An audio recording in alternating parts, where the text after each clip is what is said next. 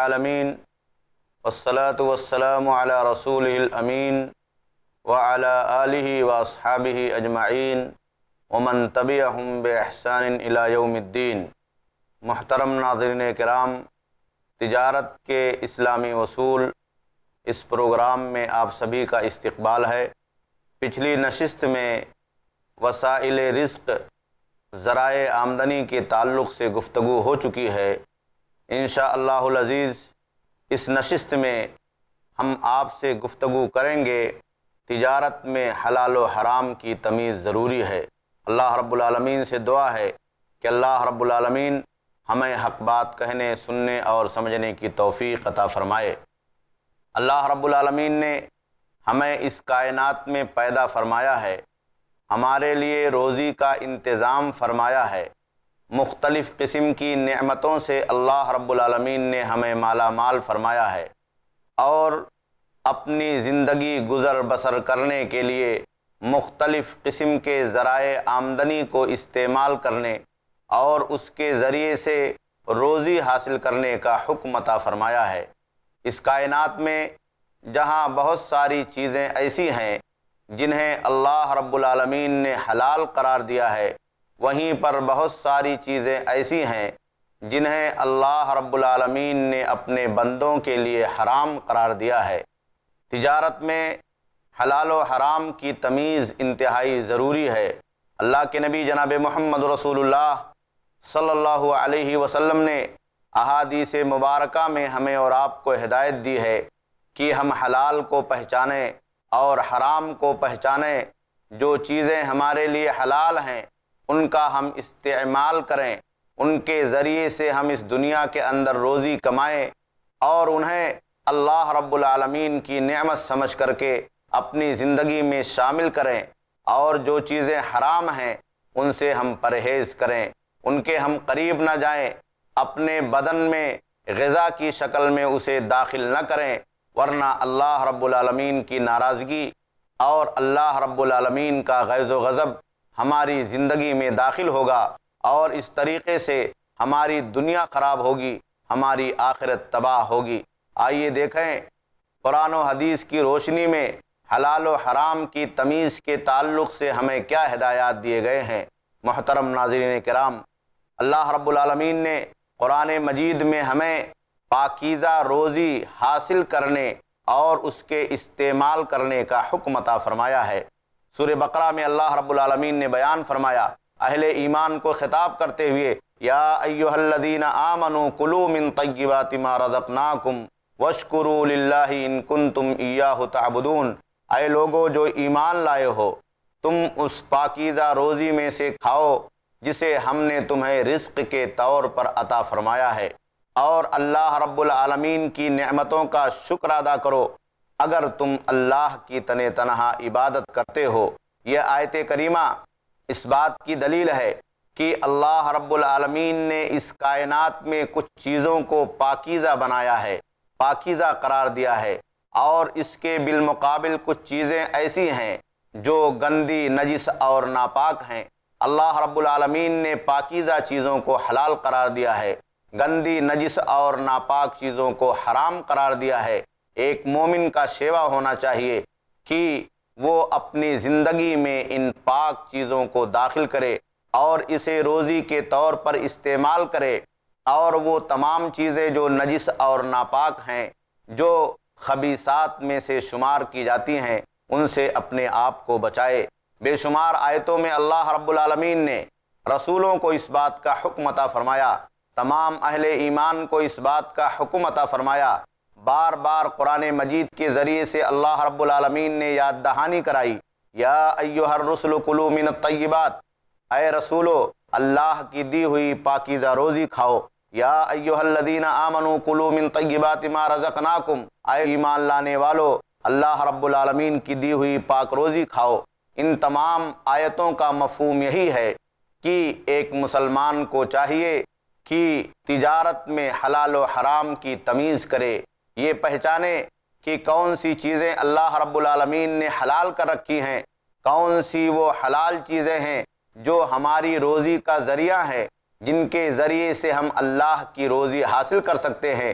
اور کون سی وہ چیزیں ہیں جن سے اللہ رب العالمین نے منع فرمایا ہے اور جن سے بچنا ہمارے اور آپ کے لیے ضروری ہے۔ ایک مومن کی ذمہ داری ہے کہ وہ معاشرے میں رہتے ہوئے جب بھی کسی چیز کے تعلق سے بزنس اور تجارت کرے تو یہ پہچاننے کی کوشش کرے کہ یہ حلال ہے یا حرام۔ اگر حلال ہے تو اسے اپنی زندگی میں داخل کرے اور اس کی تجارت کرے، اس کا لین دین کرے، اس کی خرید و فروخت کرے۔ اور اگر حرام ہے تو اس سے اپنے آپ کو بچائے، اپنی تجارت کو اس سے بچائے، اس کے قریب نہ جائے۔ اللہ کے نبی جناب محمد رسول اللہ صلی اللہ علیہ وسلم نے اس بات کو واضح کرتے ہوئے بیان فرمایا۔ کہ قیامت کے دن ایک انسان سے اس کی کمائی کے بارے میں پوچھا جائے گا کہ اس نے کہاں سے کمایا ہے۔ مشہور حدیث ہے، حضرت عبداللہ ابن مسعود رضی اللہ تعالیٰ عنہ روایت کرتے ہیں۔ سنن ترمیزی کی صحیح روایت ہے۔ اللہ کے نبی جناب محمد رسول اللہ صلی اللہ علیہ وسلم بیان فرماتے ہیں کہ قیامت کے دن ابن آدم کے قدم اس وقت تک نہیں ہلیں گے۔ جب تک کہ پانچ باتوں کے بارے میں اس سے پوچھ نہ لیا جائے۔ اللہ کے نبی جناب محمد رسول اللہ صلی اللہ علیہ وسلم نے پہلی بات کا تذکرہ فرمایا ان عمرہ فیما افناہ اس کی عمر کے بارے میں اس سے سوال کیا جائے گا کہ اس نے اپنی عمر کو کہاں گزارا ہے، کہاں بتایا ہے۔ اپنے قیمتی لمحات کو زندگی کے اس نے کہاں گزر بسر کیا ہے۔ اللہ کی اطاعت میں لگایا ہے۔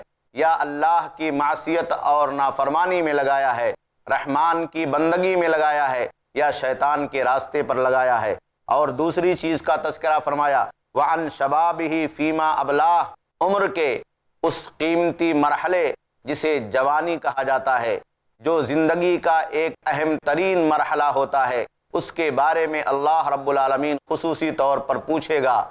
کہ عمر کے اس قیمتی مرحلے کو بندے نے کہاں بتایا ہے؟ کون کون سی آزمائشوں سے گزرا ہے؟ اور کس کس میں اسے کامیابی ملی ہے؟ کہاں کہاں وہ ناکام ہوا ہے؟ اللہ رب العالمین عمر کے اس قیمتی مرحلے کے بارے میں قیامت کے دن سوال کرے گا۔ اور تیسرا سوال جو ہمارے اس موضوع سے متعلق ہے، اللہ کے نبی جناب محمد رسول اللہ صلی اللہ علیہ وسلم نے بیان فرمایا، وَعَن مَالِهِ مِنْ أَيْنَكْ تَسَبَهُ وَفِيمَا أَنفَقَهُ۔ مال کے بارے میں اللہ رب العالمین، روزی کے بارے میں اللہ رب العالمین پوچھے گا، دولت اور کمائی کے بارے میں پوچھے گا۔ من اینک تصبہ کہاں سے بندے نے اسے حاصل کیا؟ حلال طریقے سے حاصل کیا ہے یا حرام طریقے سے حاصل کیا ہے؟ جائز آمدنی ہے یا ناجائز آمدنی ہے؟ وہ فیما انفقہ اور کمانے کے بعد اسے کہاں خرچ کیا ہے؟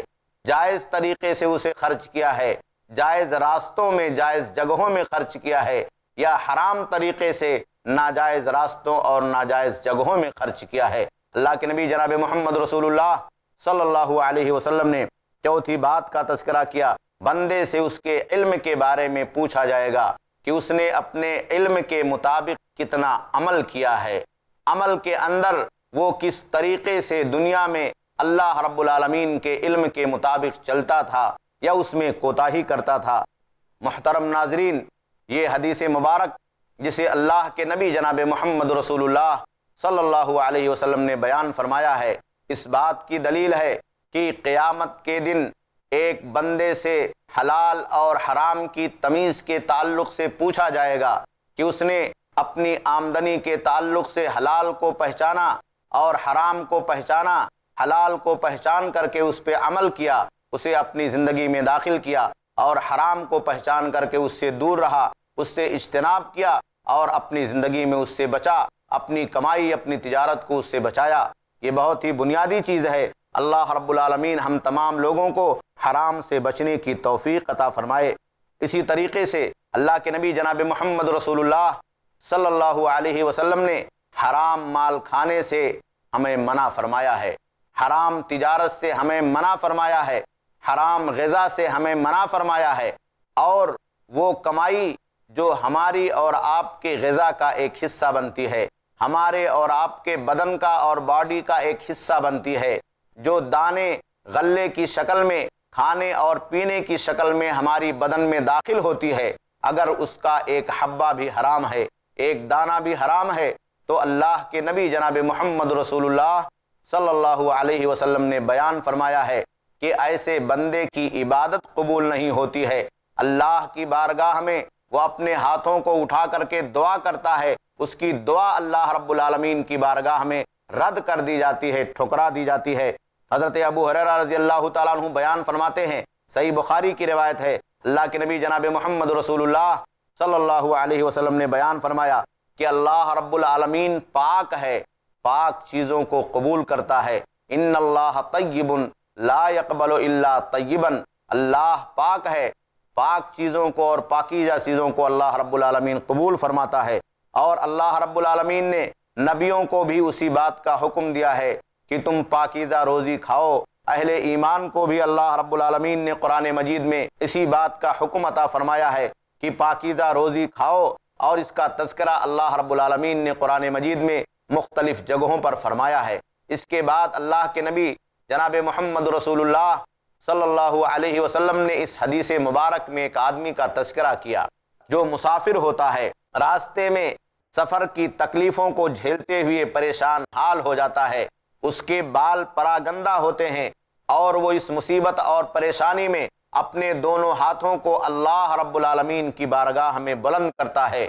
یا ربی یا ربی کہہ کر کے دعا کرتا ہے۔ اللہ کے نبی جناب محمد رسول اللہ صلی اللہ علیہ وسلم بیان فرماتے ہیں کہ اس کی دعا کو اللہ رب العالمین رد کر دیتا ہے۔ اس کی دعا بارگاہ الہی سے واپس لوٹا دی جاتی ہے۔ جس کی وجہ اللہ کے نبی جناب محمد رسول اللہ صلی اللہ علیہ وسلم نے اس حدیث مبارک میں ذکر کرتے ہوئے بیان فرمایا کہ وہ متعمہ حرام، اس لیے کہ اس کا کھانا حرام کا ہے۔ وہ مشرب حرام، اس کے پینے کی چیزیں حرام کی ہیں وہ ملبس حرام، اس کا لباس حرام کا ہے وہ غزیہ بالحرام، اور اس کے بدن میں حرام غذا پہنچائی گئی ہے، فَأَنَّا يُسْتَجَابُ لِذَلِكَ، تو ایسی پوزیشن میں اس کی دعا اللہ کی بارگاہ میں کیسے قبول ہو سکتی ہے، کیسے شرف قبولیت اسے حاصل ہو سکتی ہے۔ اللہ کے نبی جناب محمد رسول اللہ صلی اللہ علیہ وسلم نے اس حدیث مبارک کے ذریعے سے واضح کر دیا کہ حرام خوری ہماری اور آپ کی دعاؤں کے راستوں میں، ہماری اور آپ کی عبادتوں کے راستے میں اللہ رب العالمین کی بارگاہ میں قبولیت کے تعلق سے رکاوٹ بن کر کے کھڑی ہو جاتی ہیں۔ اگر مال حرام ہے، حرام غذا ہے، کھانے اور پینے کی چیزیں حرام ہیں اور اس طریقے سے حرام ذریعے آمدنی سے حاصل کی ہوئی کمائی ہے اور اس کو ہم نے اور آپ نے دنیا کی زندگی میں استعمال کیا ہے، تو اللہ کے نبی جناب محمد رسول اللہ صلی اللہ علیہ وسلم بیان فرماتے ہیں کہ ایسے بندے کی دعا نہیں قبول ہوتی ہے۔ جب دعا قبول نہیں ہوتی ہے، جو عبادت کی بنیاد ہے، عبادت کی روح ہے، عبادت کی جڑ ہے اور اس کی جان ہے، تو بقیہ عبادتوں کے بارے میں ہم اور آپ تصور کر سکتے ہیں کہ وہ اللہ رب العالمین کی بارگاہ میں کیسے قبول ہو سکتی ہے۔ پیارے حبیب، جناب محمد رسول اللہ صلی اللہ علیہ وسلم نے ایک دوسری حدیث میں اس بات کی بھی وضاحت فرما دی کہ حرام خوری کرنے والے آدمی کا صدقہ بھی قبول نہیں ہوتا ہے۔ مال حرام کا صدقہ بھی اللہ رب العالمین کی بارگاہ میں قبول نہیں ہوتا ہے۔ حضرت عبداللہ ابن عمر رضی اللہ تعالیٰ عنہ کی روایت ہے۔ امام مسلم رحمہ اللہ نے روایت فرمایا ہے۔ اللہ کے نبی جناب محمد رسول اللہ صلی اللہ علیہ وسلم بیان فرماتے ہیں، لا تقبل صلاة بغیر تہور نماز بغیر وضو کے قبول نہیں کی جا سکتی ہے۔ ولا صدقۃ من غلول، اور نہ مال قیانت سے جو حرام کا مال ہوتا ہے، صدقہ قبول کیا جاتا ہے۔ اللہ کے نبی جناب محمد رسول اللہ صلی اللہ علیہ وسلم نے یہاں اس بات کو واضح کرتے ہوئے بیان فرمایا کہ جس طریقے سے بغیر وضو کے نماز قبول نہیں ہے، اسی طریقے سے حرام مال کا دیا ہوا صدقہ اللہ رب العالمین کی بارگاہ میں قابل قبول نہیں ہے۔ مسلمانوں کو چاہیے کہ وہ حلال و حرام کی تمیز کریں تاکہ ہماری اور آپ کی نمازیں، ہماری اور آپ کی عبادتیں، ہمارے اور آپ کے صدقات و خیرات اللہ رب العالمین کی بارگاہ میں قبول ہو سکے۔ اسی طرح سے اللہ کے نبی جناب محمد رسول اللہ صلی اللہ علیہ وسلم نے اس بات کو بھی واضح کر دیا کہ حرام خوری، مال حرام کو اپنی غذا بنانا یہ قیامت کے دن جہنم میں جانے کا باعث اور ذریعہ ہے۔ اللہ کے نبی جناب محمد رسول اللہ صلی اللہ علیہ وسلم سے حضرت کعب ابن عجرہ رضی اللہ تعالیٰ عنہ روایت کرتے ہیں۔ سنن ترمیزی کی صحیح روایت ہے۔ آپ صلی اللہ علیہ وسلم ایک لمبی حدیث کے اندر بیان فرماتے ہیں، یا کعب ابن عجرہ، کہ اے کعب ابن عجرہ، انہو لا یربو لحم نبت من سحت الا کانت النار اولا بھی کہ اگر کوئی بدن حرام مال سے دنیا کے اندر پرورش پاتا ہے، تو اس کا ٹھکانہ قیامت کے دن اللہ رب العالمین کے ہاں جہنم ہے۔ اللہ کی آگ ہے اور اللہ کا عذاب ہے۔ پیارے حبیب جناب محمد رسول اللہ صلی اللہ علیہ وسلم کی یہ حدیث بتاتی ہے کہ اگر ہم نے اور آپ نے اپنے بدن کی غذا حرام مال کے ذریعے سے اختیار کی ہے اور ہمارے کھانے اور پینے کی چیزیں ایسی چیزوں سے حاصل کی گئی ہیں جن میں حرام کی آمیزش ہے۔ ناجائز چیزوں کی آمیزش ہے، حرام آمدنی کی آمیزش ہے۔ تو اللہ رب العالمین کی بارگاہ میں جہاں ہماری عبادت، ہمارے صدقات و خیرات اور ہماری نمازیں قبول نہیں ہوتی ہے وہیں قیامت کے دن ایسے بدن کا ٹھکانہ اللہ رب العالمین کا عذاب ہوگا۔ اللہ رب العالمین کی جہنم ہوگی۔ ہمیں اور آپ کو چاہیے کہ ہم جہنم سے اپنے بدن کو بچانے کے لیے حلال و حرام کی تمیز کریں اپنی تجارت میں، اپنے بزنس میں، اپنے کاروبار میں حلال کو اختیار کریں حلال ذرائع آمدنی کو انکم سورسز کو تلاش کریں اور حرام طریقوں سے حاصل کی ہوئی آمدنی سے اپنے آپ کو، اپنی تجارتوں کو بچائیں۔ حضرت جابر ابن عبداللہ رضی اللہ تعالیٰ عنہ ایک دوسری حدیث کے اندر روایت کرتے ہیں۔ امام احمد ابن حنبل رحمہ اللہ نے اس حدیث کو اپنی کتاب مسند احمد ابن حنبل میں نقل فرمایا ہے۔ اور امام ابن حبان رحمہ اللہ نے صحیح ابن حبان کے اندر نقل فرمایا ہے۔ یہ حدیث سندن صحیح ہے۔ اللہ کے نبی جناب محمد رسول اللہ صلی اللہ علیہ وسلم بیان فرماتے ہیں کہ لا يدخل الجنت لحم نبت من السحت وکل لحم نبت من السحت کانت النار اولا بھی کہ جنت میں وہ گوشت بدن کا داخل نہیں ہو سکتا ہے جس کی پرورش حرام غذا سے دنیا میں کی گئی ہے۔ اللہ کے نبی جناب محمد رسول اللہ صلی اللہ علیہ وسلم نے ایسے آدمی پر جنت کو حرام قرار دے دیا ہے جو آدمی دنیا میں اپنے بدن میں مال حرام کو داخل کرتا ہے اور اس کے ذریعے سے اپنے بدن کو پرورش دیتا ہے اور اس طریقے سے مال حرام اس کے کھانے پینے اور غذا کی بنیاد ہوتی ہے، اس کی زندگی کے اندر شامل اور داخل ہوتی ہے۔ پیارے حبیب جناب محمد رسول اللہ صلی اللہ علیہ وسلم نے اسی لیے اہل ایمان کو اور اہل اسلام کو حرام غذاؤں سے، حرام طریقوں سے حاصل کی ہوئی کمائیوں سے بچنے کا حکم عطا فرمایا ہے اور اس سے دور رہنے کا حکم دیا ہے۔ حضرت عبداللہ ابن مسعود رضی اللہ تعالیٰ عنہ کی وہ مشہور روایت، جس میں اللہ کے نبی جناب محمد رسول اللہ صلی اللہ علیہ وسلم نے اس بات کو بیان فرمایا کہ ان جبریل القافی روی، کہ ایک دفعہ جبریل میرے پاس آئے اور انہوں نے میرے نفس کے اندر یہ بات ڈالی، الہام کیا، ان احدم منکم لن یخرج من الدنیا حتی یستکمل رزقہ کہ تم میں سے ایک آدمی دنیا سے اس وقت تک رخصت نہیں ہو سکتا ہے، جب تک کہ اس روزی کو نہ پالے جو اللہ رب العالمین نے اس کے لیے مقدر کر رکھا ہے۔ انسان کو جو اللہ رب العالمین نے روزی دینے کا وعدہ کیا ہے اس کے نصیب میں جتنی روزی پانے کے لیے اللہ رب العالمین نے لکھ رکھا ہے اور اس کی جتنی روزی اللہ رب العالمین نے مقدر کر رکھی ہے، وہ اتنی روزی کو پالے گا۔ اسی لیے اللہ کے نبی جناب محمد رسول اللہ صلی اللہ علیہ وسلم نے بیان فرمایا کہ فتق اللہ و اجمل فی تم اللہ رب العالمین کا تقوی اختیار کرو اور تلاش رزق میں اچھا راستہ، نیکی کا راستہ، حلال کا راستہ اختیار کرو۔ ایسا نہ ہو کہ تمہاری زندگی روزی کو تلاش کرنے میں حلال کے بجائے حرام کے اوپر قائم اور دائم ہو جائے۔ اس کے بعد اللہ کے نبی جناب محمد رسول اللہ صلی اللہ علیہ وسلم بیان فرماتے ہیں کہ فَإِنِ اسْتَبْتَا أَحَدٌ مِّنْكُمْ رِزْقَهُ اگر کسی انسان کی روزی اسے دنیا کی زندگی میں نہ ملے، اس میں تاخیر ہو جائے، اس میں کمی ہو جائے، اللہ رب العالمین اس کی روزی گھٹا دے اس کی زندگی میں کشادگی کے بجائے تنگی اللہ رب العالمین پیدا فرما دے۔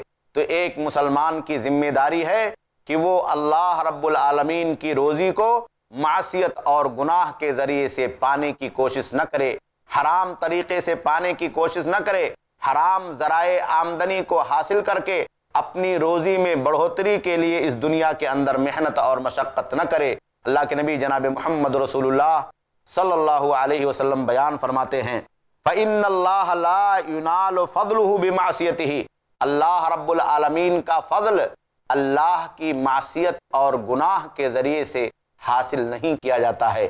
روزی اللہ کا فضل ہے، روزی اللہ کی نعمت ہے۔ روزی اللہ رب العالمین کی اللہ کے بندوں پر ایک رحمت ہے۔ اور اللہ کی یہ رحمت اللہ رب العالمین کے مقرر کردہ حلال راستوں کے ذریعے سے حاصل کی جا سکتی ہے اور اسی کے ذریعے سے ہمیں اور آپ کو حاصل کرنا چاہیے۔ اسی لیے اللہ کے نبی جناب محمد رسول اللہ صلی اللہ علیہ وسلم نے ہمیں حلال و حرام کی تمیز کا حکم عطا فرمایا ہے۔ وہ لوگ جو حلال و حرام کی تمیز نہیں کرتے ہیں اور دنیا کی زندگی میں اپنی آمدنی اور اپنی کمائی کو حرام کے اوپر قائم اور دائم کرتے ہیں، اللہ کے نبی صلی اللہ علیہ وسلم نے انہیں سخت وعید سنائی ہے اور سخت طریقے سے تنبیہ کی ہے۔ سنن ابن ماجہ کی ایک صحیح روایت ہے۔ حضرت جابر ابن عبداللہ رضی اللہ تعالیٰ عنہ بیان فرماتے ہیں۔ اللہ کے نبی صلی اللہ علیہ وسلم نے کہا، یا ایوہ الناس اتقوا اللہ واجملوا فی الطلب کیا اے لوگو، اللہ رب العالمین کا تقوی اختیار کرو اور روزی کو تلاش کرنے میں نیک راستے کو، حلال راستے کو اختیار کرو۔ فَإِنَّ نَفْسًا لَن تَمُوتَ حَتَّى تَسْتَوْفِيَ رِزْقَهَا وَإِن نَبْتَعَنَهَا کوئی بھی آدمی دنیا سے اس وقت تک رخصت نہیں ہو سکتا ہے، یہاں تک کہ اپنی روزی کا پورا حصہ جو اللہ رب العالمین نے مقدر کر رکھا ہے، اسے پالے فتق اللہ و اجملو فی الطلب۔ چنانچہ تمہاری ذمہ داری ہے کہ اللہ کا تقوی اختیار کرو اور روزی کو تلاش کرنے میں حلال راستے پر چلو۔ اس کے بعد اللہ کے نبی صلی اللہ علیہ وسلم نے بیان فرمایا خضو ما حلہ و دعو ما حرما ایک مسلمان کی حیثیت سے تمہاری ذمہ داری ہے۔ کہ جو کچھ حلال طریقے سے تمہارے پاس آئے اسے لے لو، اور جو حرام طریقے سے تمہارے پاس آئے اسے چھوڑ دو۔ تمہاری زندگی میں حرام مال کی آمد نہیں ہونی چاہیے، اور تمہاری کمائی میں حرام مال کی آمیدش نہیں ہونی چاہیے۔ اسی لیے ہم دیکھتے ہیں، اللہ کے نبی جناب محمد رسول اللہ صلی اللہ علیہ وسلم کے صحابہ کرام کی زندگی حلال و حرام کے تعلق سے ایک مثالی زندگی تھی۔ آپ صلی اللہ علیہ وسلم نے صحابہ کرام کو جس بات کا درس دیا تھا، حلال کو حاصل کرنے اور حرام سے بچنے کا، صحابہ کرام اس پر قائم اور دائم تھے۔ حضرت ابو بکر صدیق رضی اللہ تعالیٰ عنہ کا واقعہ ہے۔ بے شمار صحابہ کرام کا واقعہ ہے کہ جب انہیں پتا چلتا کہ ہماری کھانے اور پینے کی چیزیں حرام ذرائع آمدنی سے ہمارے گھر میں داخل ہوئی ہیں، ہمارے بدن کے اندر پہنچی ہیں، تو اسے منہ میں انگلی ڈال کر کے قے کر دیا کرتے تھے۔ حضرت ابو بکر صدیق رضی اللہ تعالیٰ عنہ کی خدمت میں ان کے غلام نے زمان جاہلیت میں کہانت، پیشین گوئی، جو شریعت میں ایک حرام طریقہ ہے، اس کے ذریعے سے آمدنی حاصل کی تھی۔ حضرت ابو بکر صدیق رضی اللہ تعالیٰ عنہ کی خدمت میں پیش کیا تھا۔ آپ نے اس میں سے کچھ کھا لیا تھا۔ جب آپ کو بعد میں پتا چلا کہ یہ مال حرام ہے، حرام آمدنی سے آپ کے بدن کے اندر داخل ہوا ہے، تو حضرت ابو بکر صدیق رضی اللہ تعالیٰ عنہ نے فَأَدْخَلَ ابو بکر یدہو اپنے ہاتھ کو اپنے منہ میں داخل کیا، اپنی اگلیوں کو اپنے منہ میں داخل کیا۔ فقا کل شعین فی بطنہ۔ اور پیٹ میں جو بھی حرام غذا گئی تھی، جو ان کا غلام لے کر کے آیا تھا، اسے قے کر دیا۔ قے کے ذریعے سے اسے باہر نکال دیا۔ اللہ کے نبی جناب محمد رسول اللہ صلی اللہ علیہ وسلم کے صحابہ کرام کا یہ طریقہ آپ کی زندگی میں ہمارے اور آپ کے لیے درس عبرت ہے، جو ہمیں اور آپ کو یہ پیغام دیتا ہے۔ کہ ہمیں اور آپ کو دنیا کی زندگی میں رہتے ہوئے حلال و حرام کی تمیز کرنی چاہیے۔ بالخصوص تجارت کے باب میں، بے و شرع کے باب میں اور مختلف قسم کے ذرائع آمدنی سے اپنی روزی کو تلاش کرنے کے باب میں ایک مسلمان کی ذمہ داری ہوتی ہے کہ وہ حلال کو پہچانے، حرام کو پہچانے اور حلال کو اختیار کرے، حرام سے اپنی زندگی کو دور کرے تاکہ اس کی عبادت اللہ رب العالمین کی بارگاہ میں قبول ہو۔ اس کی دعا اللہ رب العالمین کی بارگاہ میں قبول ہو۔ اللہ رب العالمین سے دعا ہے کہ اللہ رب العالمین ہمیں حرام سے بچائے اور اس کے حلال کی توفیق عطا فرمائے۔ محترم ناظرین کرام، پروگرام کا وقت اب اسی پر ختم ہوتا ہے۔ انشاءاللہ العزیز، اگلی نشست میں آپ سے ملاقات ہوگی۔ والسلام علیکم ورحمۃ اللہ وبرکاتہ۔